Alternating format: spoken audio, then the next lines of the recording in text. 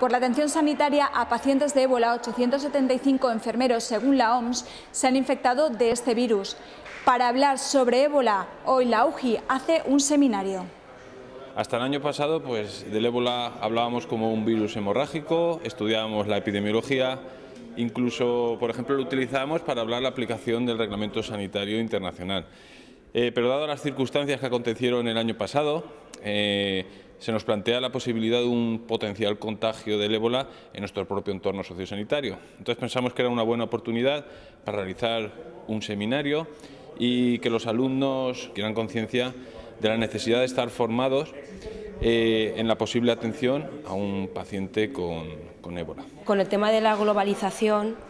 la migración de las personas entre países es bastante grande, entonces eh, no estamos eh, protegidos ante cualquier enfermedad, entonces vale la pena estar informados para poder saber actuar e informar sobre toda la población. La base para una buena sanidad es una buena prevención y por lo que creo que este seminario puede ser muy interesante. Un seminario enmarcado dentro de la asignatura de curas de enfermería en las enfermedades infecciosas, que ha sido impartido por José Antonio Forcada, responsable de docencia y calidad del Centro de Salud Pública de Castellón. Lo que voy a tratar de explicar a los alumnos es principalmente qué es el ébola y cómo son las vías de transmisión del ébola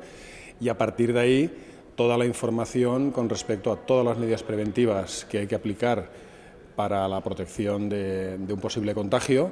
eh, que no son medidas nuevas, son medidas que conocemos, son medidas que se implantaron en la década de los 80 a raíz de la aparición del SIDA, pues es prácticamente lo mismo.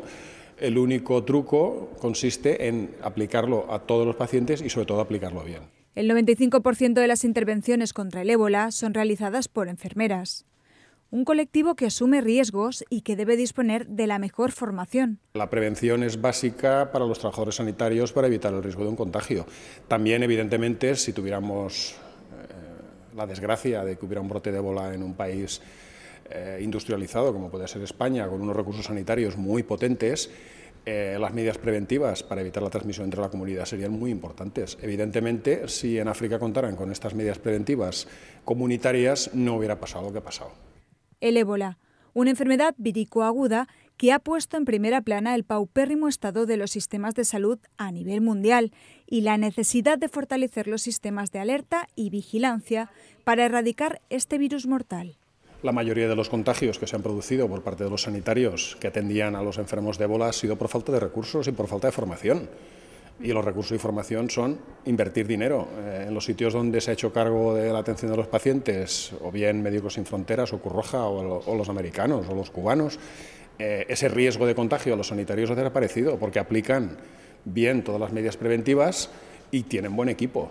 cosa que no tienen los locales. La aprobación de nuevas pruebas como el test de 15 minutos de ébola y los últimos resultados esperanzadores que han arrojado varios estudios autorizados por la OMS de nuevas vacunas nos hacen ver un poco de luz al final de un túnel llamado ébola.